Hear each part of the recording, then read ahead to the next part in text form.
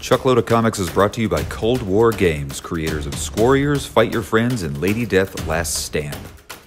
For more information, visit coldwar.us.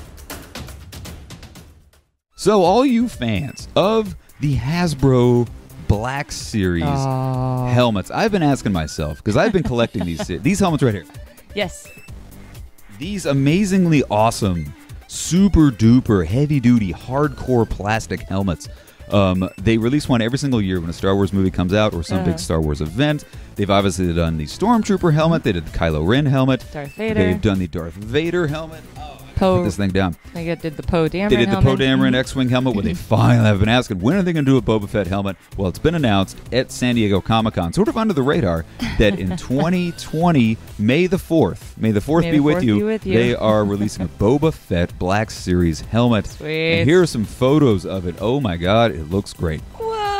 Uh, it looks great from the front, from the side. The interior looks absolutely amazing. Holy cow. Um, it's it's available for pre-order right now. You can pre-order it on Amazon, Walmart.com, uh, DisneyStore.com. You can pre-order it now. It doesn't come out for almost a whole year, but you can already place your pre-order. well, that just um, tells you right there that it's going to sell out. It's gonna The sell out big time. have, I don't think they've done pre-orders for Black Series helmets. they? Everybody's oh yeah, they do. They do? They do, Oh, but okay. man, not this far in advance, and everybody's That's crazy. excited about a Boba Fett helmet, especially one of this caliber. It's an electronic helmet. It includes interior padding, adjustable fit and flip-down viewfinder with a flashing LED lights, as well as an illuminated rangefinder and a heads-up display. Oh my gosh. How exciting Can we that? get two?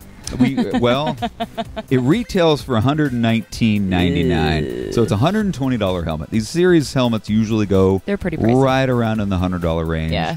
Um, a lot of times, uh, people like to go in and paint them and, and redo Right, them. yeah. This one looks good to go right out of the box. So cool. it It's looks damage heavy. It's and, con ready. yeah. The paint job looks spectacular. Wow. So look for it coming out this next May, Oh May the gosh. fourth, twenty twenty. Wow. Just in time for probably the finale of the Mandalorian on the yeah, right.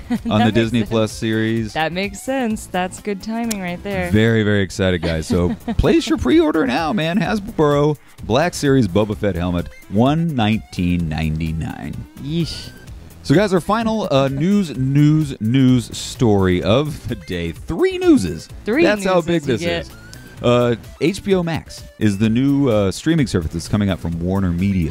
How many streaming services do a we have A lot to of them, and this one's now? actually going to be a little bit expensive. Oh, but no. all you fans of Doctor Who, Warner Mm-hmm. Media struck a deal with the BBC.